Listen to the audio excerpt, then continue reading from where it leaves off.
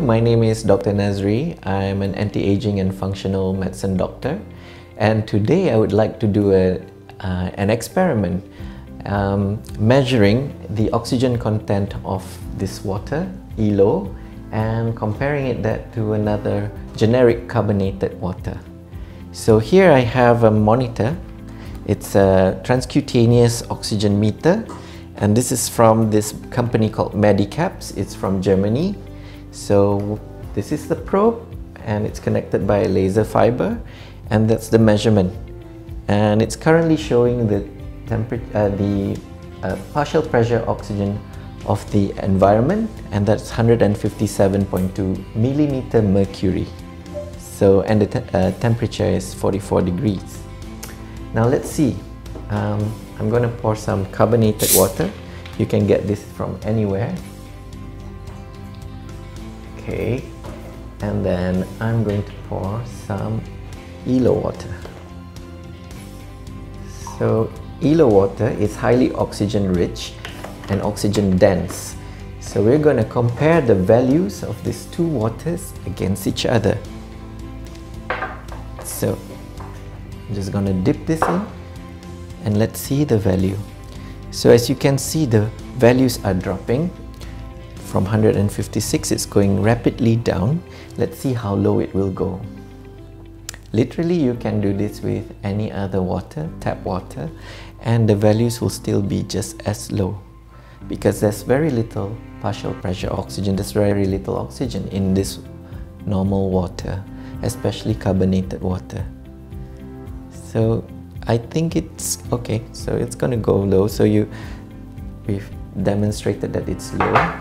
Now we quickly put this into ELO and see how fast it will go and how high it will go. Wow, it's climbing up.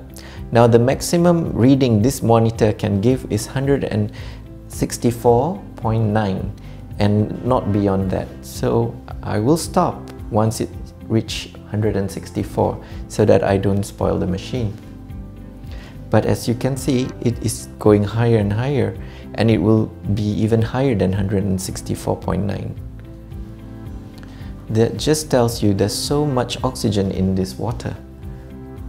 And the partial pressure of this oxygen is very high, higher than the environment. So I'm going to stop just there so that this machine doesn't, doesn't spoil. We'll put it back into this carbonated water and you can see it will drop again. That's the carbonated water. Okay, now I'm going to experiment by putting this probe onto somebody's tissue. We're going to measure someone's tissue level, oxygen level. So, Falik, I'm going to measure the tissue oxygenation. That means the content of oxygen in your tissues, not in your capillary. Capillary is different. So this is just a sticker, don't worry.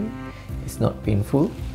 And then I'm to put just the normal water. This is just normal distilled water. So here you go. One drop, two drop, three. So we squeeze it out screw it tight, sorry. Okay, now it's tight. His tissue oxygenation. Okay, so the, the beginning, it was the environment. It was 163. So now I've connected it to his tissues and we're going to measure his tissue oxygenation. It's going to take some time and it will start to drop slowly and it will plateau after about 5 or 6 minutes and that's his um, baseline tissue oxygenation.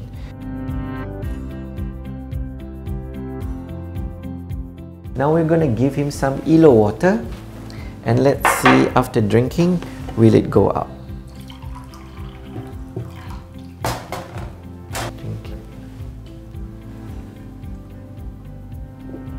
So he's reading it was 79 so initially it will drop for a while and then after a while it'll start to come up. Let's see. As you can see, uh, Fadil's uh, tissue oxygenation has improved from 76 at baseline, he's gone up to 88 in about uh, 10 minutes after drinking the water or 15 minutes after drinking the water. Perfect. Let me just put it this way. Um, I have definitively proven to you by using a transcutaneous monitor that after drinking, your tissue oxygenation improves. So, and I've also definitively um, proven to you that uh, the water ELO's partial pressure of oxygen in is very very high and compared to normal normal water either carbonated water or tap water or any other water we can do the experiment. It's much much lower. We make our own conclusions from there that using the water can improve your tissue oxygenation